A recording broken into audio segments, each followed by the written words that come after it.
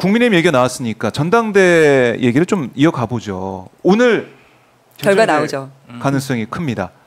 1차죠. 뭐 여기서 과반 후보가 안 나오면은 2차 결선으로 네. 가는데 오늘 결정할 가능성이 높다 이런 얘기도 나오고 있고 어떻게 예상하십니까? 대표님? 저는 무난하게 한동훈 오늘 결정이 된다? 후보가 어. 50% 넘게 득표해서 바라시는 거 아니에요? 한동훈 후보가 대표되길? 아니 뭐 아무려면 우리가 대세죠. 뭐 백전 노장인 그런 정치인보다는 뭐 어디. 구의원 선거도 안 해본 한동훈 위원장이 여당 대표가 되면 저희가 아무래도 좀 그래요? 초보 정치인 대하기가 어. 수월하지 않을까요? 저는 네. 그렇게 생각하고요. 예. 일단 국민의힘 전당대에서 의자를 집어던지는 그런 액션이 나왔기 때문에 이 모습은 아, 깜짝 경- 놀랐습니다. 저는 보고. 이것은 이것은 이기는 쪽에서는 조용히 투표하지. 네. 음, 저건 뭐 졌기 때문에 의자가 나오는 겁니다. 음. 어떤 매뉴얼이고요. 네. 의자를 집어 던지는 것을 보고 아 한동훈 위원장이 좀 압도적인가 보다 아, 이런 생각이. 들었고요. 압도적인 후보가 좀 여유를 가지고 음. 뭔가 좀 의원들을 아우르고 후보들하고 뭔가 좀 이렇게 어떤 뭐죠 친소 네. 뭐 어떤 이런 이런 끈끈한 뭐 우정 같은 거를 하면서 전당대회를 뭔가 축제장으로 만들어야 되는데 음. 깐족깐족하면서 청탁했잖아요. 부탁했잖아요. 네. 그래서 나경원 그 얘기 생방송 중에 했어요. 예, 네. 공소 한동훈 취소를. 그냥 본인의 캐비넷을 열어서 폭로를 했죠. 그래서 산통을 다 깼다. 음. 아하. 그래서 지금 나경원 의원이 또 신나서 또 친윤 의원들이랑 밥 먹고 몰려다니고 있지 않습니까? 어제 만찬까지 네, 쑥덕쑥덕 하면서 그러면서 관련자. 당 대표가 돼도 계속 쫓아다니면서 발목을 잡고 물러가라 음. 물러가라 할 것 같습니다. 그래요. 어제 대표님. 예. 최강욱 의원님이랑 같이 이제 방송을 하고 아, 예. 나오면서 나경원 의원 이야기를 들었는데 어. 그렇게 잘 운다라는 얘기를 해줬어요. 근데 그래요. 이 한동훈 후보와 그 토론하고. 토론 하고 예. 나서도 울었답니다. 그 그런 얘기가 들리더라고요. 네. 그렇다고. 그래서 기사로도 난 걸로 아는데 네. 그만큼 타격이 컸다는 거죠. 아. 그리고 너무 여- 분한 그 느낌도 들고. 어떻게 이것까지 얘기할 수 있어? 아주 음. 막 가자는구나라는 느낌이었어요. 이를 갈았겠네요, 그냥. 그래서 다시는 보지 말자 어. 서로. 그러니까 어. 이제 다시는 뭐 약속 대련이든 뭐든 네. 만약에 계획했다면 그건 다 산통 깨졌다는 생각이 들고요. 음. 그리고 지금 국민의힘 투표율을 보니까 네. 지난해 38 전당대회 최종 투표율 55.1보다 한 6, 7% 정도 투표율이 낮더라고요. 맞습니다. 그런데 한동훈 후보 쪽에서는 어 이거 투표율 낮은 거는 아직 음. 우리 그 지지자들이 하지 않았기 때문이야. 네. 어차피 한동훈 후보 나오면 뽑을 거야. 아하. 이 투표하지 않은 비율은 다 한동훈 한동훈이야. 거야라는 얘기를 하고 음. 나경원 의원 쪽에서도 그런 얘기를 해요. 네. 한동훈 후보의 지지자가 빠졌기 때문에 아. 한동훈 후보의 영향으로 이 전체 지지율이 낮아진 거다. 그러면 이거는 한 후보를 칭찬한 거라고 생각이 됩니다. 그래요? 그러니까 그 한 명의 후보가 이 정도의 영향력, 아. 6, 7%의 지지율을 왔다 그러니까? 투표율을 음. 좌지우지할 수 있을 정도면 이 사람은 대세라는 거거든요. 그래요. 네. 대세라고 얘기하면서 좀, 좀 좋아하시는 것 같아요. 강비정 대변인도. 네, 왜냐면 예. 아, 너무 좀, 아, 두분 다 이렇게 좋아하세요. 계획이 한동훈- 있기 때문에 아, 그래요? 한동훈 후보 같은 한동훈 경우는 대표다 응원하시는군요. 그 후보를. 정말로 소신이 있는 것 같아요. 자기는 네. 여의도 문법을 쓰지 않겠다고 했잖아요. 네.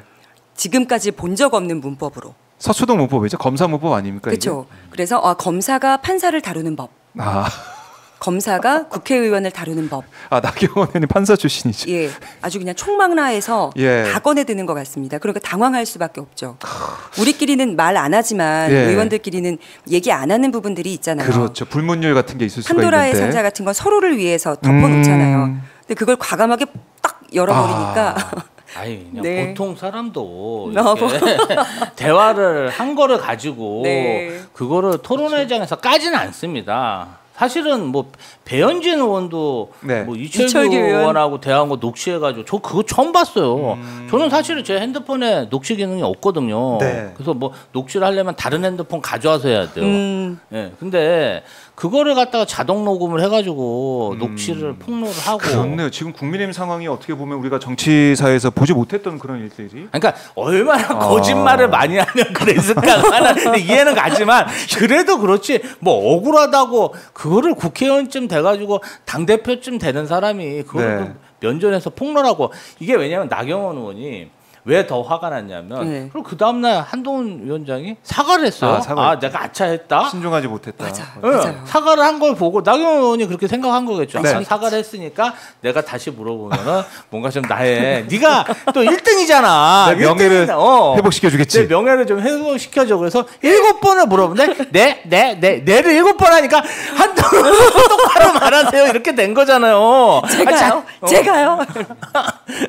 네, 네, 네를 일곱 번 했잖아요. 네. 그- 그런 면을 봤을 때 한동훈 위원장은 사실 이번 당 대표도 지난번 총선 패배의 트라우마에 벗어나기 위해서 나온 것 같아요. 아, 내가 이런 실패를 한 적이 없는데. 어 정말 민주당 이재명 대표한테 내가 이렇게 졌다고 음. 말이 돼? 그 분노감에 당 대표까지 나온 것 같은데 네. 정치란 그렇게 하는 게 아닙니다. 음. 뭐 좀 준비가 돼서 좀 본인 성찰하고 나와야죠. 좀 연습도 하고. 네. 예. 그래요. 그래서 오늘 결과에 관심이 쏠리고 있는데 일단 한동훈 후보가 요 며칠 사이에는 계속해서 화합, 미래 네. 이 얘기를 또 많이 하더라고요. 내를 일곱 번 했는데 또 화합을 한대요? 믿을 수 없어요. 그거는. 아. 국힘의원들은 더더욱 못 믿을 화합이 겁니다. 되겠습니까 지금? 네. 근데 참 이 복잡스러운 게 뭐냐면 한동훈 후보가 대표가 되면 결국 또 윤석열 대통령의 레임덕이 오는 게 아니냐 이런 얘기도 있고 아니다. 또 윤과 한이 손을 또 잡고 또 갈등 없이 갈 수도 있다라는 얘기도 있고 그리고 그러다 보니까 한동훈 특검법이나 김건희 여사 특검법 최혜병 특검법도 그렇고 요소 요소마다 서로의 입장이 좀 다른 부분이 있어서 특검법이 또 잘 통과될 수도 있다. 뭐 이런 관측도 있고 어떻게 됩니까? 한동훈 대표가 된다면 윤석열 대통령과의 관계 네. 어떻게 좀 예상하세요? 일단 윤석열. 대통령의 배우자의 네. 어, 메시지에 답장을 하지 않았다. 음. 지금 세간에 퍼져 있는 익십 사건의 주요 책임자라고 알고 있잖아요. 네. 한동훈 후보가.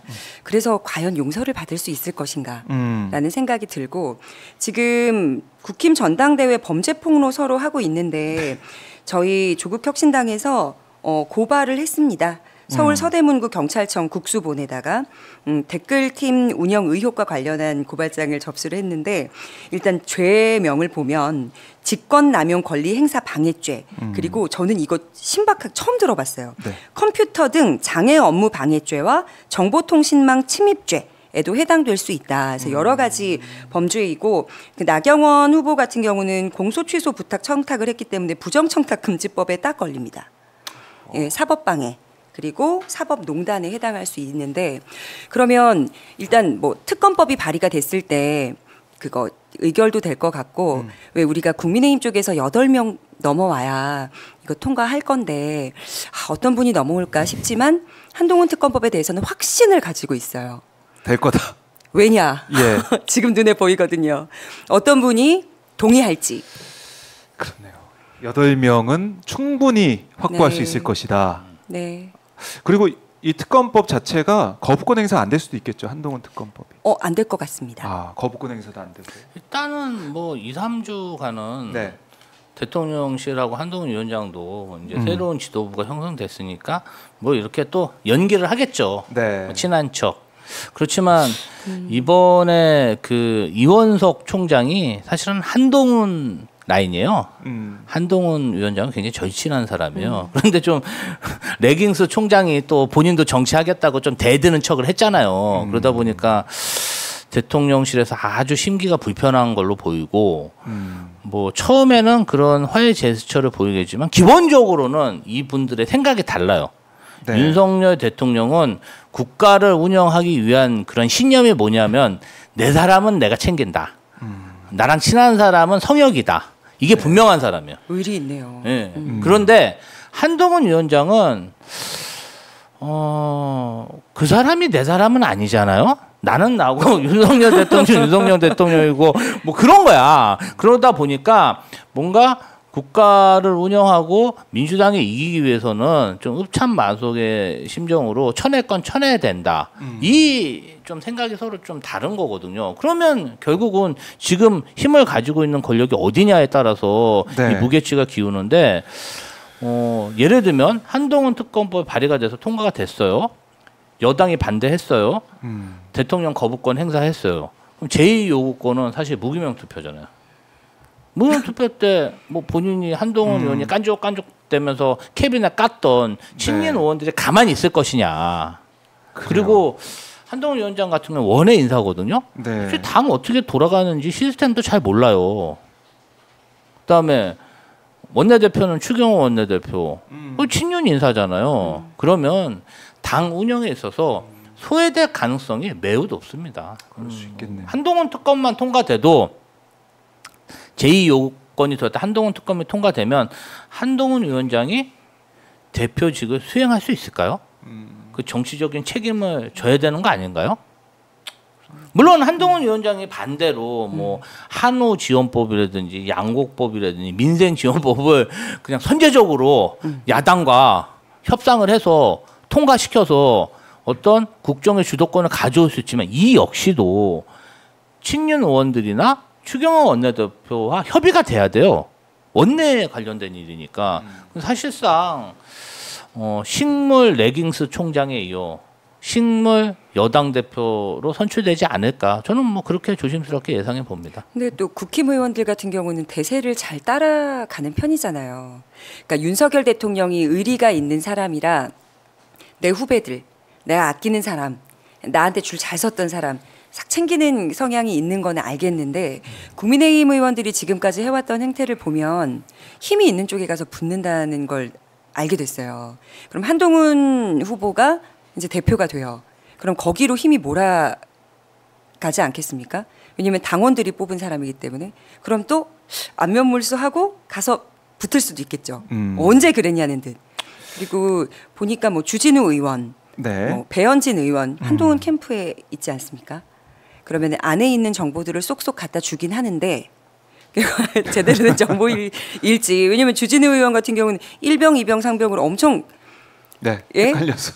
그리고 최혜병 목숨값 20억짜리 네. 뭐 어? 기물이 파손됐을 때라는 비유를 해서 엄청난 지탄을 받지 않았습니까? 그러니까 신뢰를 받지 않고 미움을 사는 의원들이 한동훈 후보의 주변에 포진하고 있다는 거죠.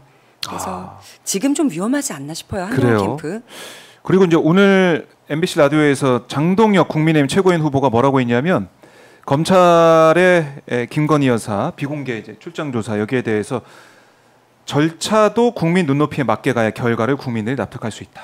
어. 어, 이렇게 얘기를 했습니다.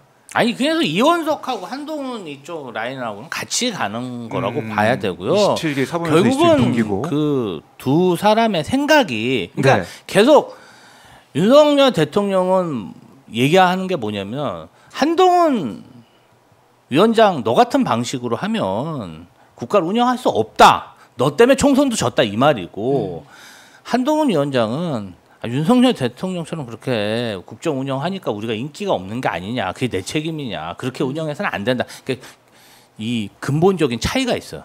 두 사람 간에. 그래서 갈라진 거라고 봐야 돼요. 그렇기 때문에 근데 여당 대표라는 게 그렇습니다. 아, 임기가 3년이나 남았잖아요. 네. 그러면 대통령실하고 관계, 행정부의 관계를 잘 조율하고 음. 그다음에 여당 의원들을 잘 다독여서 이렇게 화합적으로 가야 되거든요. 그러니까 예를 들면 그 전통적인 여당 대표의 상은 황우여 지금 비대위원장 같은 사람이 이래도 좋고 저래도 좋고 여기 가서도 물에 불탄데. 예, 물에 불탄도 수레 수탄도 그줄 잘 타는 사람이 네. 네. 여당 대표로서 성공했지 임기나마 그나마 채웠지 그렇게 어, 대통령하고 정면으로 맞서는 사람이 여태까지 임기가 이렇게 유지된 적이 없습니다. 그리고 네. 어, 야당 대표는 사실 어떤 그런 그 선명성이 굉장히 중요하잖아요. 여당 대표는 화합이 중요합니다. 그럼 화합이 중요한 사람이 그렇게 공소치에서 폭로합니까? 음. 안 해도 되는 얘기를? 선명해지고 싶은 것 같아요. 한동훈 후보는. 이 사람은 네. 남하고 이렇게 언쟁에서 우위에 서기 위해서 싸워서 지기 싫어서 지금 여당 대표에 도전한 사람이기 때문에 그 리더십이라는 게 한계가 분명합니다. 음. 그래요. 참 누가 될지 모르겠지만 국민의힘 내부 상황이 복잡할 수도 있겠다. 앞으로 이제 뭐 시작일 수도 있겠다. 오늘 장동혁 최고위원 후보의 이 발언을 보니까 김건희 여사 문제에 있어서도 이제 국민 눈높이 안 맞는 부분들이 있다고 생각하면 좀 전향적인 자세로 나올 수 있겠다 이런 생각이 들어요. 네, 선긋게 하는 것 같습니다. 선긋게 하고 있다. 아 그러면 추가 조사도 할 수 있겠네요. 그렇죠. 검찰이 조금 의지를 가지고 덤비면 그렇죠. 왜냐면 납득하지 못한 상황이니까. 지금 김건희 여사 종합특검의 발의를 이제 민주당에서 하실 것들 살펴보면 네. 다섯 가지 정도 되는 걸로 알고 있거든요. 음, 근데 지금 12시간 조사 안에 밥 먹고 그리고 나중에 그 진술한 내용들 변호사랑 확인하는 확인해야죠, 시간 빼고 확인. 하면 얼마 안 되죠. 시간. 네. 네다섯 시간 안에 그 사안들을 다 진술 조사할 수가 없거든요. 음, 그럼 추가 추가 조사가, 조사가. 필요할 것 음, 같아요. 음. 다 추가 살펴보려면. 조사, 추가 조사하는 게 국민 눈높이에 맞는 거고 이번엔 추가 조사하게 된다면 출장 조사 말고 검찰청자에서 받아야겠죠. 추가 조사를 안 하는. 게 상식인데 상식이죠. 이분들은 무혐의 처분을 하기 위한 음. 출장 피크닉 조사를 했기 때문에 샌드위치를 제가 왜 먹었을까? 어. 아. 아니, 그 커피도 샌드위치 얘기 그? 얘기- 그 얘기한 것 같아. 샌드위치 얘기는 밥 먹을 시간도 없이 열심히 이렇게 준비를 해서 계속 조사를 했다. 아니 그럼 김밥 먹었다 그럴 수도 있잖아. 아니 김밥이 더 서민적이지 않아요? 근데 꼭 자기가 뭐 김밥 말고 샌드위치 먹어야 돼요? 아이. 아, 그랬구나. 그 순간에서도 네. 뭔가 좀 이미지 고상해 making. 보이고 싶은 거예요, 정말. 김밥이 어디가 어때서? 그렇죠? 돋보이고 싶은 네. 생각이 있는 거죠, 김밥과 샌드위치. 음.